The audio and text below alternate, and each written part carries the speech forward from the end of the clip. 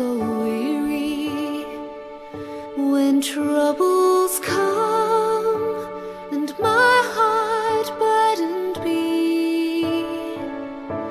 Then I am still and wait here in the silence.